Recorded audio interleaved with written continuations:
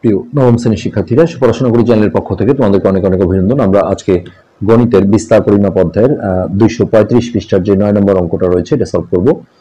তো ইতিপূর্বে আমরা আট পর্যন্ত করে ফেলেছি, যারা দেখোনি, ভিডিও নিচে প্লে লিস্টের লিঙ্ক আমরা দিয়ে দিই, সেখান থেকে দেখে নেবে।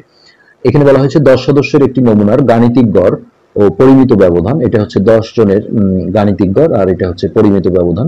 পরে এরকমই পনেরো মানের আরও একটা নতুন সদস্য এদের সাথে যুক্ত হলো। তাহলে আগে ছিল দশ জন, আর একজন যুক্ত হলে কত? এগারো জন হলো। সেই এগারো জনের হচ্ছে গাণিতিক গড় আর পরিমিত ব্যবধান চাওয়া হয়েছে। তো এটা আমরা দেখি কীভাবে করা যায়। নয় নম্বর। তো প্রথমত আমরা যদি এইভাবে লিখে নেই যে দেওয়া আছে দশ সদস্যের একটি নমুনার গাণিতিক গড়। দশ সদস্যের নমুনার গাণিতিক গড়। তো এই গড়টা দেওয়া আছে নাইন পয়েন্ট ফাইভ আর দেখো, গড়ের গড় জানা থাকলে গড়কে রাশির সংখ্যা দিয়ে গুণ করলে সমষ্টি অর্থাৎ মোট পাওয়া যায়। তাহলে দশ সদস্যের নমুনার নমুনার মানের সমষ্টি। তাহলে এই গড় গুণন রাশির সংখ্যা হচ্ছে দশ। সো এটা গুণ করে আমরা পাবো নাইনটি ফাইভ এইভাবে আমরা আগে জিনিসটার একটা সমষ্টিতে নিয়ে আসলাম। ওকে এখন আমরা যে কাজটা করব সেটা হচ্ছে পনেরো মানের আরও একজন যদি এর সাথে যোগ হয় তাহলে পনেরো মানের হ্যাঁ, পনেরো মানের আরও আহ, এক সদস্যের নমুনা মানে কি? সেটা বয়স হতে পারে টাকা হতে পারে এরকম। হ্যাঁ, এক সদস্যের নমুনা যোগ করলে যখনই একজন ইনক্লুড হয় তখন আসলে এটার আগে মোটটা জানতে হয়। দশ জনের মোট হচ্ছে গড় গুণন রাশির সংখ্যা। এখন এর সাথে আমরা পনেরো যোগ করব কিন্তু এই গড়ের সাথে কিন্তু এই পনেরো যোগ করা যেত না। হ্যাঁ তাহলে যোগ করলে নমুনার মানের সমষ্টি। তাহলে এই নাইনটি ফাইভ প্লাস আরও পনেরো। অর্থাৎ এখানে যোগ করে হবে পাঁচ পাঁচ দশের শূন্য হাতে এক, নয় রেখে দশ একে এগারো, একশো দশ। এখন একে আমরা যদি এগারো দিয়ে ভাগ দিই, এখন যেহেতু সদস্য কিন্তু আগে দশ আর একজন নতুন হলো, এগারো জন, তাহলে কিন্তু গড়টা আমরা পেয়ে যাব। তাহলে এগারো সদস্যের এগারো সদস্যের নমুনার গড়। তাহলে এই একশো দশ ভাগ হচ্ছে রাশির সংখ্যা এগারো। সো সিম্পলি এটা হচ্ছে টেন হ্যাঁ তো এটা কিন্তু আমাদের একটা অ্যান্সার তো এবার আমরা এই পরিমিত ব্যবধান নিয়ে কাজ করব। হ্যাঁ এই প্রথমত দশ সদস্যের নমুনার যে পরিমিত ব্যবধান টু পয়েন্ট ফাইভ ছিল, এটা দিয়ে আমাদের অঙ্কটা শুরু করতে হবে। তো একটু বুঝতে হবে অঙ্কটা, দেখো। দশ সদস্যের নমুনার পরিমিত এটা দেয়া ছিল। পরিমিত ব্যবধান টু পয়েন্ট ফাইভ তো ওকে পরিমিত ব্যবধানকে কি আমরা সিগমা দিয়ে প্রকাশ করি? তো সিগমা সমান হচ্ছে কত? টু পয়েন্ট ফাইভ তো এখন দেখো এইখানে যেহেতু পরিমিত ব্যবধানের সূত্রটা রুট ওভার আছে যার কারণে আমাদের এই রুট ওভার দিয়ে করতে গেলে হ্যাঁ, সমস্যা হবে। আমরা এই কারণে জিনিসটাকে হচ্ছে যে ভেদাঙ্কে নিয়ে যাব। তো ভেদাঙ্কের তোমরা জানো যে যখনই স্কোয়ার করা হয়, অর্থাৎ পরিমিত ব্যবধানকে যখন স্কোয়ার করা হয়, তখনই কিন্তু সেটা ভেদাঙ্কে চলে আসে। তো এই জায়গায় আমরা উভয় পাশে, এটা যেহেতু সমীকরণ, উভয় পাশে একটা বর্গ করে নেব। তো বর্গ করলে এখানে হবে সিগমা স্কোয়ার, আর এই পাশে হবে টু পয়েন্ট ফাইভ এর উপর স্কোয়ার। পাশে লিখে দাও উভয় পাশে বর্গ করে। অঙ্কটা একটু বিশেষভাবে আসলে চর্চা করতে হবে, একটু আনকমন এরপরে আমাদের এইখানে আমরা যে কাজটা করব, যে আমাদের ভেদাঙ্কের সূত্র আমরা পড়েছিলাম, সেই ভেদাঙ্কের সূত্রটা এখানে লিখব। তো এটা যেহেতু এটা দশ জনের ভেদাঙ্ক ছিল, তাহলে সামেশন আই সমান সমান ওয়ান থেকে দশ। হ্যাঁ দিয়ে এখানে আমরা লিখব এক্স আই স্কোয়ার বাই পুরোটার নিচে হচ্ছে এন এটা একটা ব্র্যাকেটে রাখলাম মাইনাস এখানে আবারও ব্র্যাকেট দাও। সামেশন আই সমান সমান ওয়ান থেকে জন। তো এখানে ছিল আমাদের সূত্রে এক্স আই পুরোটার নিচে এন বাই এই পুরোটার নিচেই কিন্তু এখানে স্কোয়ারটা আছে। আর ডান পাশে এটার স্কোয়ার করলে যেটা হবে সিক্স পয়েন্ট টু ফাইভ তো আশা করি বুঝতে পেরেছ, এটা জাস্ট ভেদাঙ্কের আমরা সূত্র ইউজ করেছি, যেটা তোমরা হচ্ছে এই যে দুইশো সাতাশ পৃষ্ঠা দেখো। সূত্র থেকে সূত্র বানাইয়ে এইখানে আমাদের ভেদাঙ্কের এই সূত্রটা আমরা শিখেছিলাম। এই সূত্রটা আমরা জাস্ট এখানে পুটিং করছি। তো ওকে এবার আমাদের যে কাজগুলো করতে হবে হ্যাঁ সেটা হচ্ছে এইখানে যে দেখো summation X I square X I মানে হচ্ছে যে এখানে একাধিক মান আছে অর্থাৎ এক্স ওয়ান মানে এরকম দশ জনের আছে। সেই দশ জন কি X one square plus X two square plus X three square এরকম ভাবে হ্যাঁ, দশ জনের জিনিসটা, মানটা এখানে সমষ্টি করা আছে। তো যেহেতু এখানে দশ জনের আসলে মান দেয়া ছিল, আমরা কিন্তু সেই দশ জনের মান থেকেই কাজটা করছি। তো এটাকে আমাদের এখন ভেঙে লিখতে হবে এইভাবে যে বা, এই যে এক্স আই মানে হচ্ছে অনেকগুলো উপাত্ত, অর্থাৎ এখানে কি জন আছে। তো আমরা এখানে এক্স ওয়ান স্কোয়ার তাদের সমষ্টি মানে আমরা কে ভেঙে লিখলে এইভাবে প্লাস দিয়ে লিখতে পারি plus X two square plus X three square এতগুলো লিখতে হবে না জাস্ট ডট ডট দিয়ে শেষে হচ্ছে এক্স টেন স্কোয়ার অর্থাৎ যেহেতু জন ছিল। আর এন এর মান হচ্ছে এখানে দশ। ওকে এটার কাজ হয়ে গেল। এখন মাঝখানে মাইনাস আর এই জায়গাটা আমরা দেখো যেটা আমরা গড় বের করেছি, বা যে গড়টা দশ জনের দেয়া ছিল, এটা মানে কিন্তু আসলে গড়।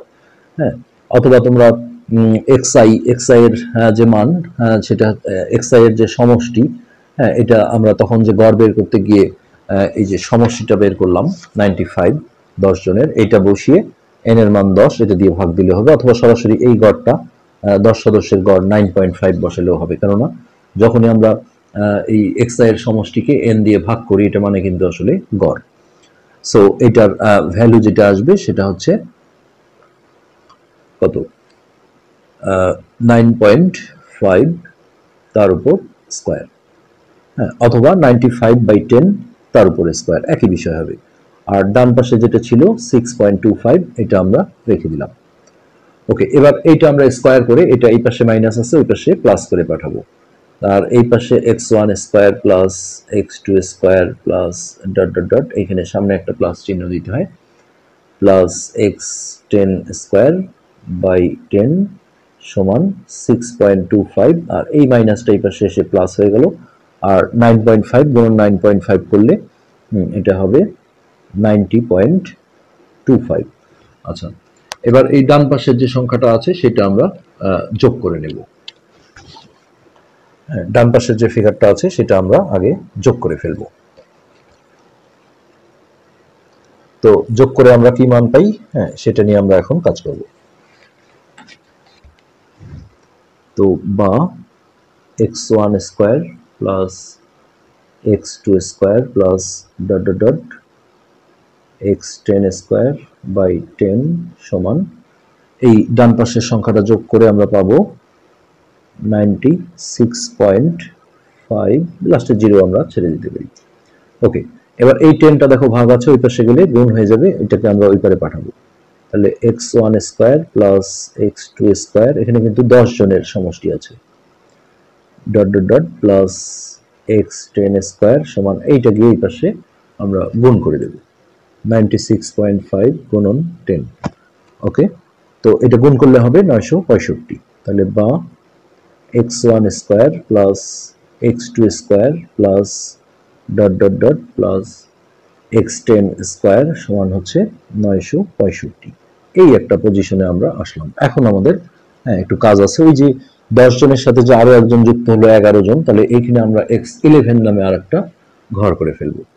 তাহলে বা X one square plus X two square plus dot dot dot plus X ten square plus এর সাথে আমরা এক্স ইলেভেন স্কোয়ার অর্থাৎ আরও একজনের নমুনা যুক্ত হলো।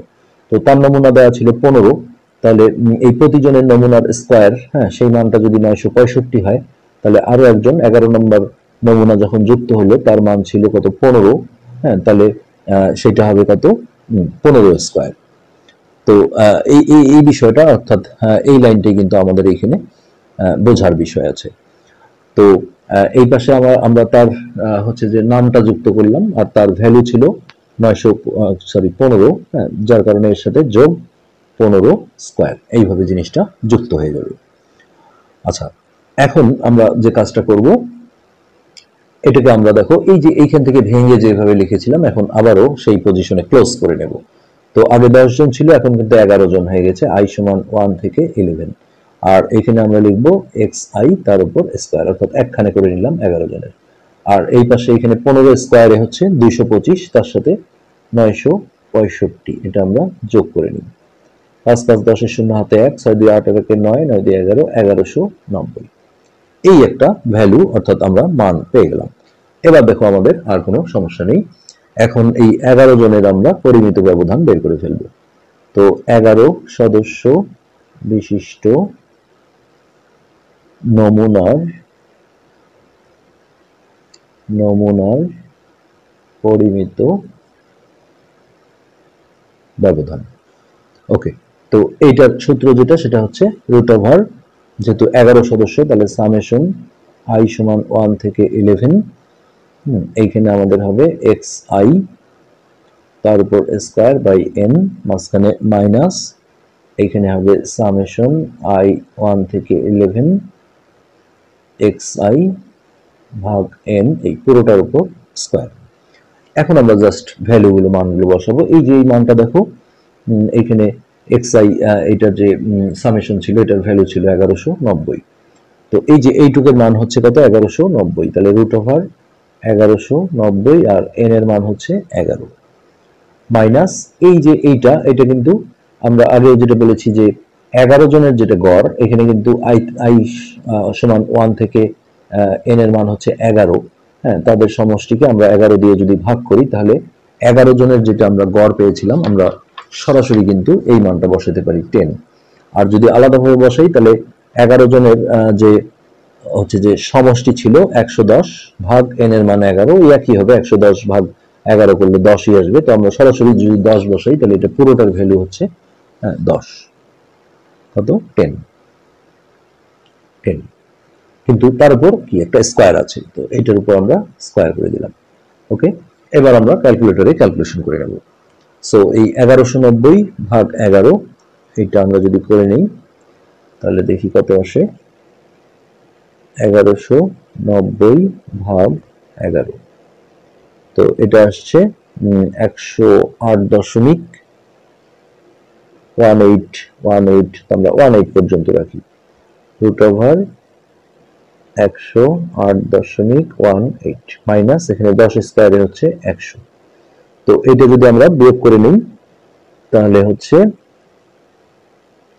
একশো আট দশমিক ওয়ান এইট মাইনাস একশো। তো এইট পয়েন্ট ওয়ান এইট এর উপর রুট ওভার তো এইটা আমরা এখন বর্গমূল করে ফেলব root over eight point one eight তো এই যে মানটা আসছে আমাদের, দেখো টু পয়েন্ট এইট সিক্স তৃতীয় ঘরটা যেহেতু জিরো আছে আমরা এক যোগ না করে ট্রাই করে দেবো। টু পয়েন্ট এইট সিক্স হ্যাঁ তো এইটা আমাদের কোনো একক দেওয়া ছিল কি না? না কোনো একক ছিল না। সো সরাসরি এটা আমরা প্রায় লিখে দেব। তো এটি কিন্তু আমাদের এগারো সদস্যের যে নমুনা ছিল হুম, তাদের কিন্তু হ্যাঁ, পরিমিত ব্যবধানটা এটা বের হয়ে গেল টু পয়েন্ট এইট সিক্স তো একটু আমি বলব যে অন্যান্য অঙ্কগুলো থেকে একটু ডিফারেন্ট এটা তোমাদের একটু বেশি করে প্র্যাকটিস করতে হবে। আহ, তাহলেই আসলে এটা কোনো সমস্যা হবে বলে আমরা মনে করি না। কেননা সব অঙ্ক আসলে একরকম হয় না এটা কিছু করার নেই টু পয়েন্ট এইট সিক্স প্রায়। তো আশা করি বিষয়টা বুঝতে পেরেছ আজকের পার্ট আমরা এখানে শেষ করছি। আমরা নেক্সট পার্ট কিন্তু এই চ্যাপ্টারের একদম শেষ পার্ট হিসেবে আমরা পরবর্তী পার্ট শেষ করব। আজকে পর্যন্তই ধন্যবাদ।